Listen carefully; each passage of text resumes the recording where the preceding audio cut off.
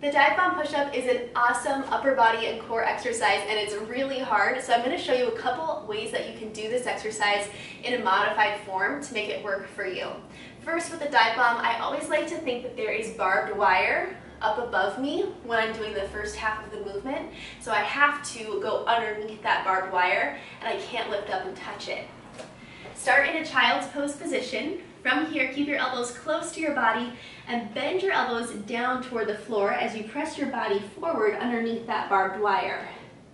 Once you, your chest gets past your hands, straighten your arms and press yourself back up. And if that's too much, you don't have to go all the way straight. You can always keep a little soft bend in your elbows. From here, you've got two options of how to get back to start. A more challenging option is to just reverse this. So bend your elbows, lower your body down, come back underneath that barbed wire, and press it back.